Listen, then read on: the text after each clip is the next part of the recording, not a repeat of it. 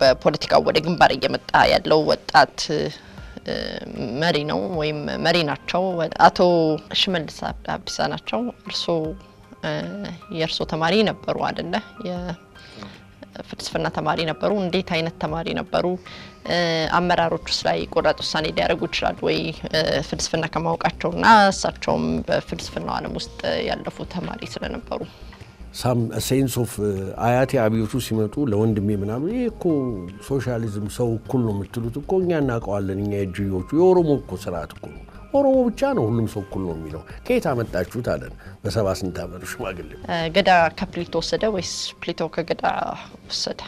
አፍሪካ የሚወጡትን መሪዎች ምን ነው ለሰለሳችሁ ብዬ መካሪ አይደለሁም። ምክንያቱም የደረሰውን ስለማቅ ሽመልስ ከጎበዝ ተማሪ ከመሆኑም በላይ በስነ ስርዓት ያደገ ልጅ ነው።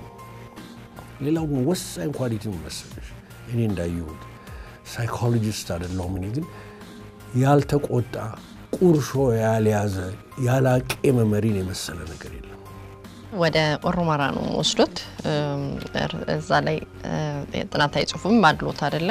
በዚህ በኦሮማራ ጉዳይ ላይ ኦሮማራ እንግዲህ ከጥቂት አመት በፊት ምናልባት ከሁለት አመት በፊት የነበረ እንቅስቃሴ ነበረ። የኦሮሞና የአማራ የህዝብ ለህዝብ ግንኙነት ነበረ። ይሄ ደግሞ መጣመር ወያኔን ከስርዓቱ ለመገርሰስ የተሄደበት መንገድ ነበረ። አሁን ኦሮማራ አክትሞለታል የሚሉ ሰዎች አሉ። እርስዎ ምን አሉት እዚህ ላይ? መጥተው ኦሮሞቹ ባልና ሚስቱ ገብተው relax አድርገው ቢራቸውን፣ ጠጃቸውን ጠጥተው ተቃቅፈው ይሄዳሉ። ይሄ የ gender equality ን የተቀበለ ነው።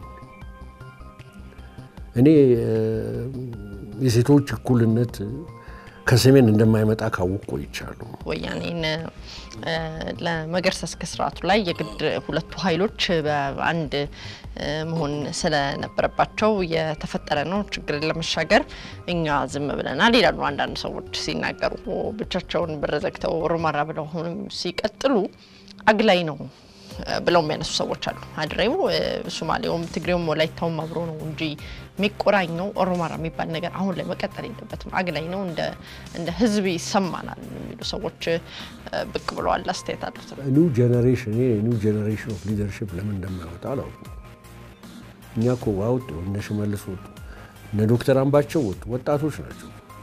አብይ ዘ ያንግ ማን ሶይዝ ደመቀ ፎዛት ማለት እኔ ወጣቶቹ ይዘዋል እና ሞፋሪያት ወጣቶች ናቸው። እዛ እኮ ያው በቃ የእኔ ኩዮ ናቸው ያሉት። ግብዣም አልሰማሉ ብንጋብዝ ገዳም አብረን እንግባብል እምቢ አሉ። እና ቦይ ስባት ሬዲ ነኝ አብሬ ገባሽ ብልሽ ስልጣን ስለሌለ ነው ቢኖር ኖሮ እንዲህ ብለውኛል። አንድ ጊዜ በስልክ አንድ ሰው ብሎኛል። ይታውቀዋለህ ስለ ስልጣን ተብያለሁ። እውነት ይህ ስልጣን ሆኝ እና በለዘብታና በሪስፖንስብል ነገር መያዝ ያለበት እንጂ ጋንጎ መሆን አይደለም ነው።